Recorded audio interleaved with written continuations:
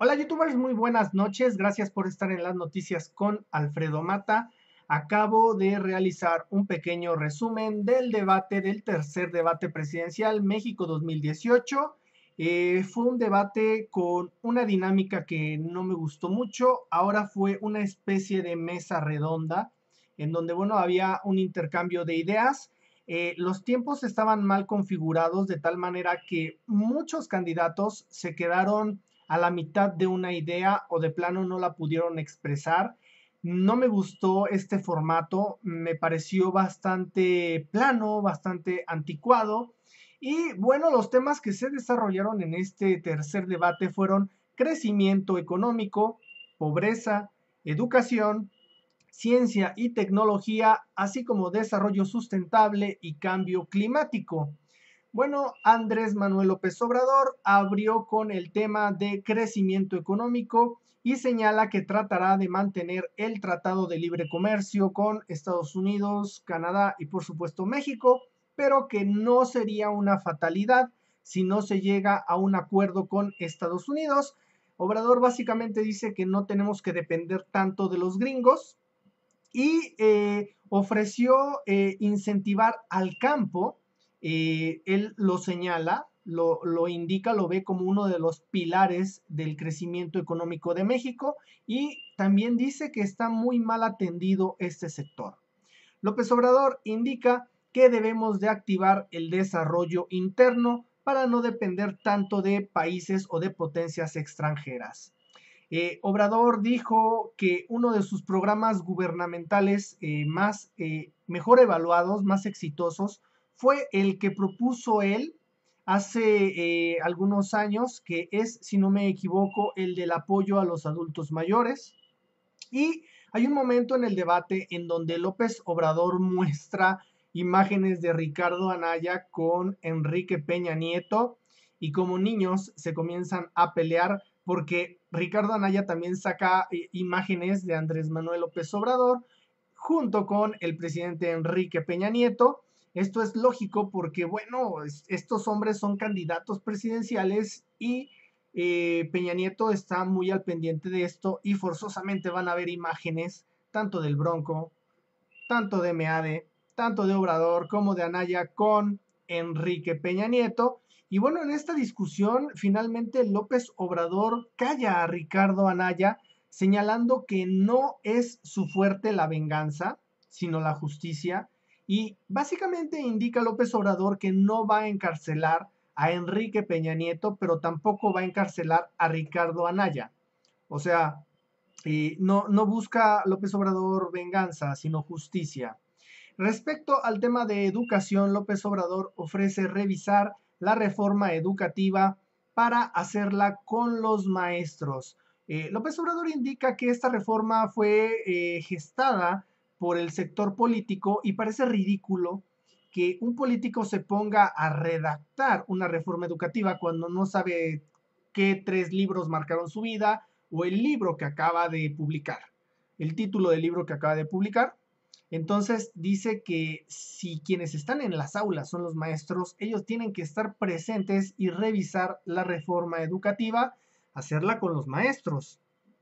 Respecto al tema de ciencia y tecnología, Andrés Manuel López Obrador ofrece aumentar el presupuesto en este rubro.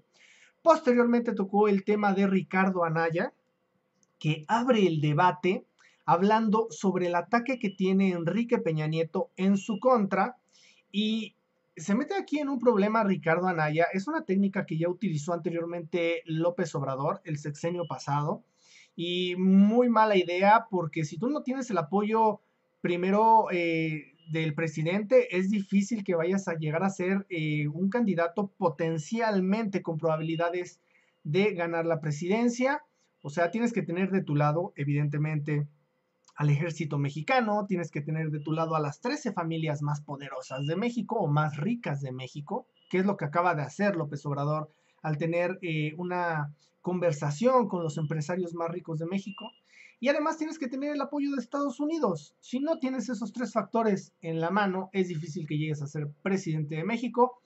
Y bueno, Ricardo Anaya dice que si él es presidente, organizará una fiscalía que investigará a Enrique Peña Nieto por los escándalos del sexenio para encarcelarlo.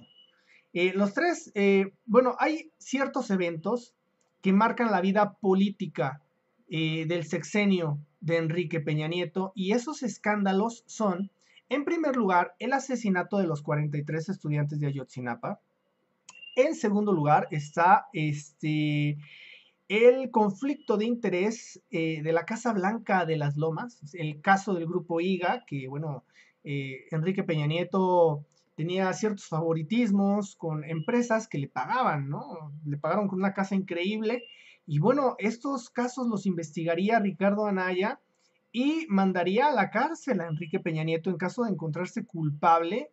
Esto, bueno, suena bastante bonito, es como endulzarte el oído. En la teoría suena muy bien, pero en la práctica ya sabemos que si ganara Anaya, que no lo va a hacer porque tiene como 20 puntos de diferencia contra López Obrador, si ganara Anaya, pues no le iba a hacer nada. Es obvio, ¿no? Es un contrato, es un pacto que hacen los políticos que, que cuando llegan al poder van a proteger al eh, presidente que va de salida. Eso lo firman todos los políticos, todos los candidatos cuando llegan a ser presidentes. Bueno, posteriormente Ricardo Anaya eh, se va sobre López Obrador señalando que Obrador dio contratos sin licitación por 170 millones de pesos y propuso que de demostrarlo, porque Ricardo Anaya parece que tiene pruebas en una página que se llama debate2018.mx, que de demostrarlo le ofrecía a López Obrador que renunciara a la candidatura, cosa que obviamente Obrador refutó. Es ridículo que con esta técnica Ricardo Anaya quiera eh, sacar de la contienda a López Obrador teniendo Anaya 20 puntos debajo.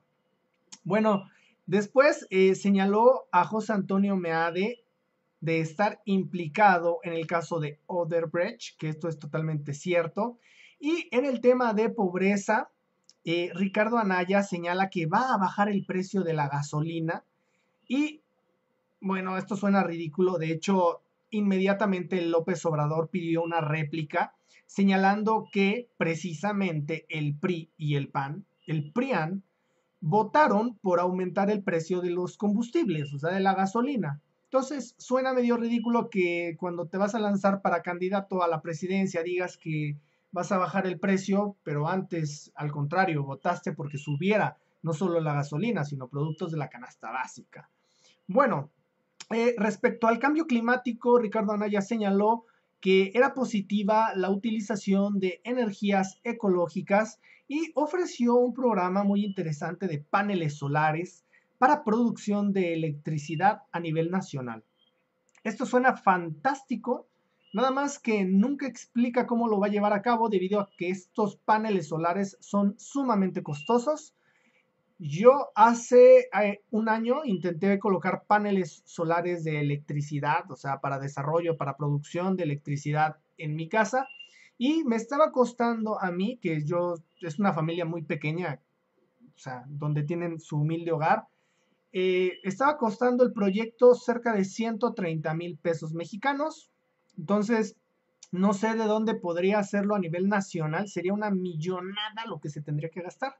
Eh, totalmente ilógico y ridículo, aunque la idea se me hace increíble. Ya, pues, eh, los otros dos candidatos que lucieron un poquito Grises, opacos fue pues José Antonio Meade que abre el debate deseándole suerte a la selección mexicana, porque bueno, estamos a dos días del Mundial Rusia 2018, entonces él lo hizo de esta manera. Eh, no sé por qué abrió de, o sea, extraño, ¿no? Pudiendo tal vez abrir de otra forma. Abre deseándole suerte a la selección mexicana. Posteriormente ataca a Andrés Manuel López Obrador y Obrador se enoja y, bueno, les dice, les dice a, Anaya y a Meade que él qué culpa tiene de que estén empatados en el segundo lugar en las encuestas.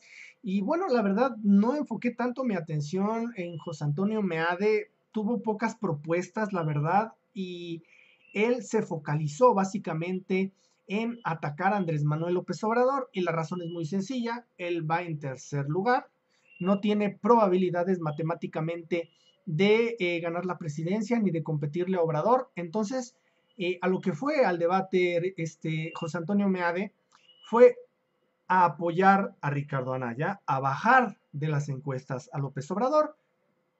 Y lo hizo de esa manera, o sea, centró su atención en atacar a López Obrador y nada más. Algo que me da mucha vergüenza porque eh, el presupuesto que se está gastando en las redes sociales, MEADE, es millonario para, para, para esto. O sea, sería yo creo que más útil y más práctico que se hubiera gastado el dinero de su publicidad en poner una escuela, en poner un hospital, en llevarle de comer algo a, las comunidades que más lo necesitan, en poner agua y no gastárselo en publicidad.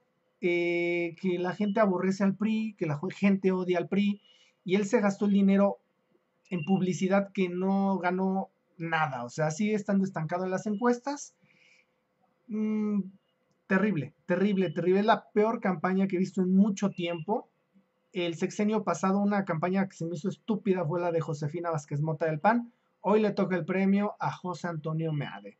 Y finalmente el Bronco, pues no destacó tampoco en nada. Eh, creo que lo vi más eh, pulido en otros debates, más agresivo. El Bronco, pues, destacó en este debate por decirle a López Obrador que le diera un beso a Ricardo Anaya y porque lo cacharon, lo regañaron por andar revisando el teléfono celular. Y bueno, finalmente señaló que tiene un FBI que se llama Facebook Bronco Investigation. Eso fue lo que lo más destacado del Bronco en el debate. Y bueno, youtubers, pues ya estamos a muy pocos días de votar. Eh, tenemos una oportunidad de oro para sacar al PRIAN del poder. Yo estoy seguro que Obrador en seis años no va a poder componer el desmadre que le ha dejado el PRI y el PAN durante tantas décadas. Es muy difícil, pero por algo se empieza, por algo se empieza. Ya no podemos seguir con, el PRI, o sea, es, es absurdo, es ridículo. Enrique Peña Nieto, los escándalos, la corrupción. México es un desastre por donde uno lo vea. Merecemos más. Hay que darle la oportunidad a quien no ha gobernado. Ya gobernó el PRI, nos fue mal. Ya gobernó el PAN, nos fue mal. Es el mismo partido, se campechanean el poder. Hay que darle una oportunidad a López Obrador. Hay que darle una oportunidad a AMLO. Y bueno, gracias por estar en este pequeño resumen que les organicé. Yo soy Alfredo Mata. Por favor, déjenme sus comentarios. Que estén muy bien.